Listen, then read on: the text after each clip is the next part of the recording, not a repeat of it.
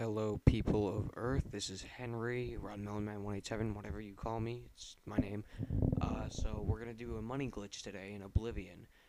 Uh, so, this is for the new Avatar Marketplace update. It's today's October 2009, or this month, season, whatever.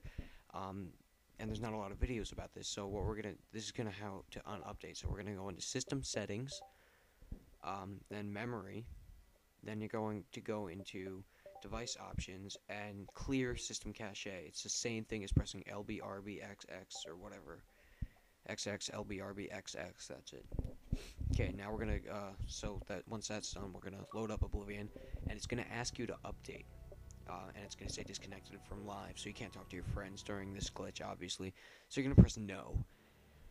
Um, now we're in Oblivion. We're gonna load up uh, say any save game or whichever one you want. And I ended up in Kvatch because I saved there. Um, what you're gonna need, the requirements for this is a um, a, a, weapon or piece of, piece of armor that is worth a lot, and you have to equip it. And I've got my mage's staff of uh, shock, and you also need a horse. And it's good to have a high mercantile skill for this one, so you can haggle. Because what you're gonna do is basically go up to a lady and you're gonna barter with her, but you have to be on top of your horse while you do this. Uh, by the way, this is in Kvatch, the village below Kvatch, or whatever it's called.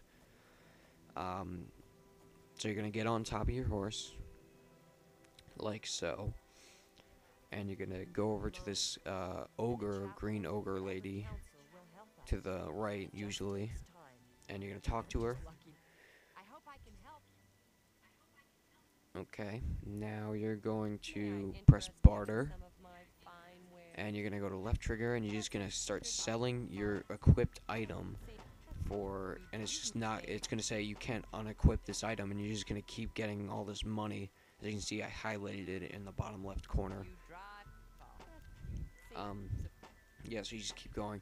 And it's good to haggle, like try and get as much. Um, I don't have a big uh, mercantile skill, so I can she only has a up to 200 gold, and all I can get up to is 126 or something, or 129, 132, or no, 129. Yeah. Or no, 126. Yeah. So anyway, that's that's really it. Um, I hope you enjoyed this tutorial and look for other videos for more Oblivion stuff in my profile channel thing, whatever. So yeah see my mercantile skill isn't that big. It's good to boost that up.